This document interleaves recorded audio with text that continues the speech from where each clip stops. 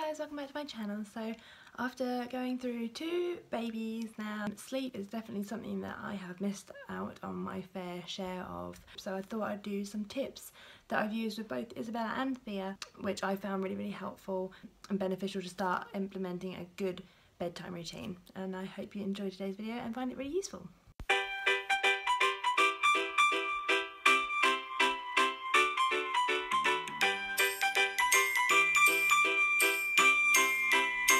Okay, so look at this slide. These are things that I've done with Isabella and continue to do with Thea. Um, Isabella stepped re really well from really early on. She actually started sleeping through the night completely from 10 weeks.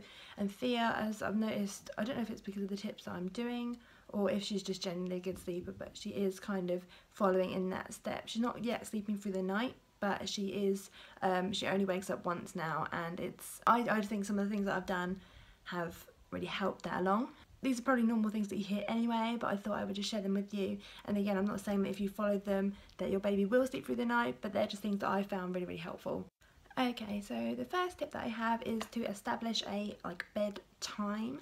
Um, obviously this has become easier since I've stopped breastfeeding and I'm now bottle feeding. Obviously it's easier to know exactly what your baby is taking in um, and what I try and do is from between the hours of 9 and 10 that will be when I give her her last bottle before bed obviously being a newborn she does feed through the night but that's when I get myself ready for bed and I'm in bed and that is my last bottle before I try and go off to sleep myself. If it's coming up to that time and I feel like she's getting hungry I do try and hold it out a little bit because I feel mm. like she'll feed better and hopefully her being awake that little bit longer beforehand will really help her go into a longer sleep. Now she does go to sleep, as I said, sometimes between 9 and 10. She's not actually waking up sometimes between like 1 and 3 in the morning, so it's quite a long period of time before she does actually wake up. Um, and that is something that has really really helped uh, me just feel a bit more refreshed in the morning getting that bit of out sleep and then after that time she doesn't actually wake up again until like sometimes like five and six really so again that's two big bursts of sleep that she's doing um, which is really really helpful Okay, so my second tip is to keep your daytime naps and your nighttime naps separate, if that makes sense. Okay, so as we're going up to bed, I will sort of be quite quiet. Um, I'll keep all the lights low. I'll just draw the curtains. I don't have the main light on. Um, and I just sort of do things quite quietly. In the middle of the night when I'm feeding and changing her, I don't put any of the main lights on. I just use the light from my phone. Um, and if I want to dim that, I literally just put the formula pot, like the little powder pot on top of it to try and dim the light a little bit so it's not that bright. That way I think it kind of keeps them in that sleepy mode.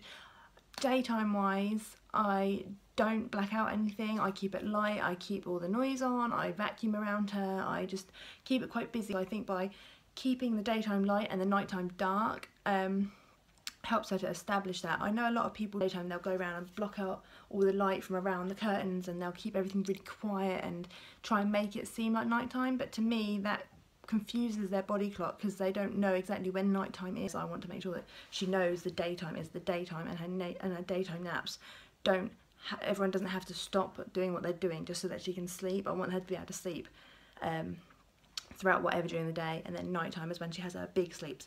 Again that's something that I did with Isabella and it worked really well.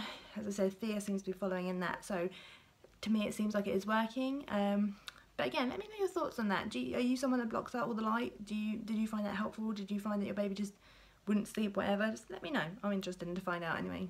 So my third tip kind of ties in with the last one, but I try not to talk to her at all through the night time. People might think I'm neglecting my baby, but I'm really not. It's just I feel like if I interact with her, she kind of, I can see her like start to wake up and like gurgle and stuff about me and while that is so cute because she is now starting to smile and coo and things, it is so adorable. I don't want to like wake her up over the night time. I don't want to stimulate her to make her be too awake. so at night time I try and keep, as I said earlier, keep everything dark, keep everything quiet. I don't talk to her. Um, I'd literally just feed her, burp her and, you know, try and soothe her into going back to sleep. Okay, so my fourth tip is to set up a nighttime station. I will set out everything on my bedside. I'll have all her bottles, like I'll have the formula ready. I'll have the nappies, the wipes, the cream out ready so that during the middle of the night I don't have to get up, don't have to rummaging around anywhere for anything. It's literally right next to me. So One, because I'm tired and I don't want to be stumbling around at night, but two, I don't want to make too much of a disturbance for her at night time. It's something I did kind of do with Isabella, but I didn't really have that much of a knack for it. This time I feel like I've got it down, like, and that is something that has been really, really helpful. Okay, so tip number five. At the moment in the UK, we have gone through like a bit of a heat wave, um, especially like the week she was born. It was so, so hot. Um, and obviously a lot of people know newborns like to be held and people always recommend like swaddling them um, so that they don't sort of spread out when you let go of them because that's something that kind of wakes her up. Um, but with it being so hot at the moment, that's something we haven't been able to do. Isabella we had in February, so it was really cold at that point. So what I'll do is I'll sort of, as I put her down, I'll keep one hand under her head and one hand on her bum, and I'll kind of just hold her there so she feels nice and like compact and firm, if that makes sense. Um, and then as I see her sort of slowly start to relax, I'll slowly start to let go of her. Just that way, so it's not just a big jolt when she comes when she lays down it is kind of a gradual process as if she was being swaddled without all the blankets because it's just far too hot as I said I know that is kind of maybe climate specific or like season specific especially for us in the UK at the moment but I know a lot of people might have that problem so I thought that I would just share that with you today Okay, so there you have it. They are my tips. Um, I hope you found them useful. I know they're probably things that people have mentioned before or quite obvious but I thought I would share them anyway. All you new mummies out there are trying to get as much sleep as possible. I, as I said before in another video, I just forgot how much it takes out of you having a baby, especially having a toddler and a newborn. It's just so draining it just never ever stops. Please add that in the comments below. I'd be really interested to hear what you do to help your baby sleep. I'm now on Instagram, so please do follow me on there as well as my normal things, Facebook and Twitter.